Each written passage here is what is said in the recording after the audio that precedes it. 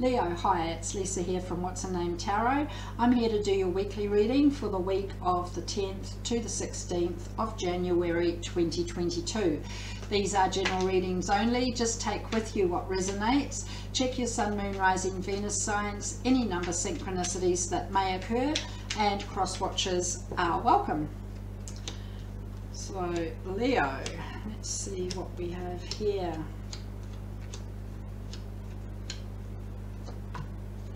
Overall seven of wands. Someone's not giving up here on something or someone not quitting. Maybe not quitting on yourself it may be on something or someone out here. But persistence you're plugging away here seeing this through. Past energies. You had the wheel of fortune nine of wands three of cups. Yeah something to celebrate here some good successful outcome here.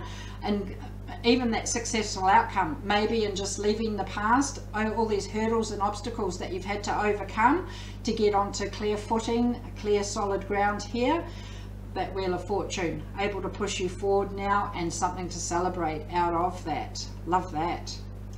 Present energies, Five of Cups, Six of Wands, the Magus, celebrating this victory right in the core of your reading okay you this emotional loss there's some sort of sadness that you're possibly going through. It may be there's um, knowing there's other loving energy around you and it may be the sadness that um, has come from all these hurdles that you've had to overcome back here. Knowing there's other loving energy around you not letting others tell you to hurry up and move on but you have that victory you have the magus connecting ways to move forward there and um, as I said in the core of your reading victory overall that persistence may be paying off right there. Future energies. Gonna say it ten of cups prince of cups ace of cups.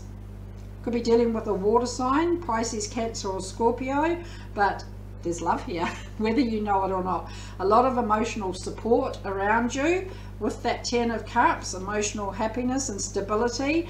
You may be offering love to somebody they may be offering love to you. That persistence may be paying off right here but there's a whole brand new chapter when it comes to some sort of love. It may be an existing relationship it may be somebody brand new but it's here so Leo, let's see what the clarifications have. Could be a job you love, could be a home you love, could be love, love.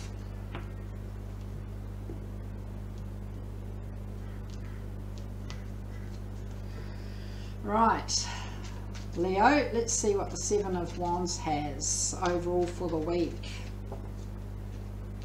Seven of Cups, Two of Cups, King of Cups. When it comes to love, it may be about exploring your options here. You may be somebody's option. You may have options when it comes to love. But again, somebody's not giving up. Somebody's not quitting here. Okay, you're in control of your emotions and um, possibly this love that is here, it's talking about not being overwhelmed with the options that are available. Well, Past energies, Wheel of Fortune. You have the Five of Swords, Judgment, Princess of Cups. Might have been a bit of a battle going on back here. Somebody may have been judging you. Um, quite a bit of judgmental energy right there with that battle as well. Like banging your head against a brick wall. And possibly when it came to love in the past. Um, could have been a younger energy, a child, I'm going to say a pet, but um, I think you may have been butting heads with um, a younger energy here because somebody was actually quite judgmental towards you. Wow. Nine of Wands. Wow, the Devil, the Wheel of Fortune, which we just had, and the Hermit. Super energy with the three major arcanas there. Could be dealing with Capricorn or Virgo. But yeah, those hurdles and obstacles you've had to overcome may have been quite negative, quite toxic energy around you. Doing some soul searching, seeing light at the end of the tunnel and getting that wheel moving full steam ahead onto bigger and better things. But um, leaving that toxic energy back there in the past. That could be the obstacles that you've had to overcome. Three of Cups. You have the Ten of Cups, Knight of Swords, Three of Wands.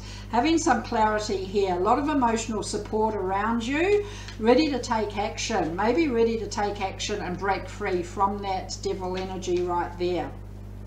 Almost like a wake-up call with that Three of Wands having that light bulb in your head moment go off and um, you may be actually seeing something or someone not in such a bright way as what you had thought and um, ready to take action to break free of that. And it may bring a certain amount of emotional sadness or grief here with this Five of Cups, present energy. Wow, yeah, double dose. Five of Cups, Queen of Wands, Four of Cups. And you may be very focused on that loss. Um, even though it was a wake-up call back here, you may still be focused on what's what's lost from there. You can't just switch things off just like that okay? But you have got this queen of wands that confidence. You've got that determination to break free of this kind of energy and explore other options that are around you and see the other love um, loving energy that is around you at this time. And victory. Claim this victory in the core of your reading. Ace of cups four of wands the hierophant so yeah, a new chapter when it comes to love, bringing in that stability, possibly a step up in commitment, possibly marriage proposal if you're it's an existing relationship, moving in together, but also could possibly be something or someone brand new here, doing it your way, not going to cave into peer pressure of others telling you what to do now. Um, and we had that judgment back there in the past and it's actually now look here I'm doing this my way um, following your gut instinct right there. But there's victory and there's stability and this whole brand new beginning. And you have the Magus, the Ten of Swords, Ten of Pentacles, Nine of Cups. I think that is just saying success and breaking free of this painful cycle, this negative cycle that you've had back here. It's been a painful journey and it's done. It's done. It's wrapped up completed there. And I think just success in being able to wrap that up there. Again there's that emotional support around you. You go from this nine of cups into the ten of cups down here for future energies. And I think being aware that that um, emotional energy and love and happiness is around you. We clarify this ten of cups four of pentacles high priestess six of swords I think that you felt bound and chained to some sort of energy that you're unable to release here, whether it's something or someone, but movement forward, even if it is done in secret to start with, you lift your guard up quite a bit what you've been through back here.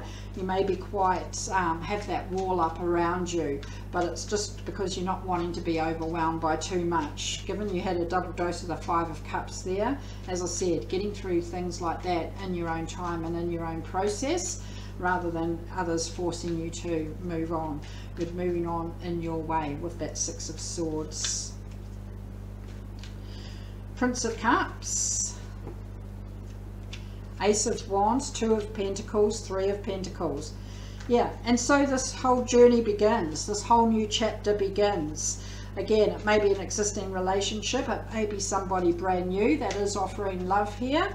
And um, yeah, getting some balance back, getting that alignment back, getting control of the situation back, stepping up, stepping into the spotlight, taking the lead, putting some plans into place of where this whole new journey is, is heading and you finish with this ace of cups. So all about these new beginnings. Nine of wands seven of swords seven of wands which you have overall for the week. Still got that persistence there. You haven't given up. You haven't quit. Here it is right here. But being able to leave that deceptive energy in the past those hurdles and obstacles that you've had to overcome to get onto that clear path ahead whatever this new journey holds for you. With that ace of cups we're clarifying Again, you're not giving up, you're not quitting. That persistence is right there. So let's see what the universe has to say, Leo. Get the Two of Swords, the Empress, Seven of Swords again, walking away from that deceptive energy. We just had that in clarification. It's behind you. You're able to pick up what serves you and move on forward. Being aware that that energy was happening around you is a big thing. Being very intuitive, following your own heart, following your gut instinct, being aware of what's going on around you rather than being stuck in the crossroads energy with that Two of Swords. Um, having that clarity of where you're heading towards, taking action on moving forward right there. So Leo, let's finish with the Star Temple Oracle.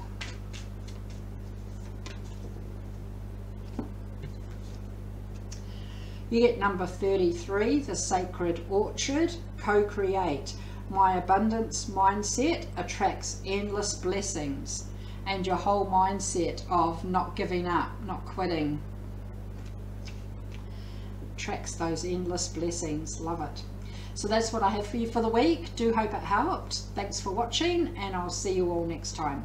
See ya. Bye.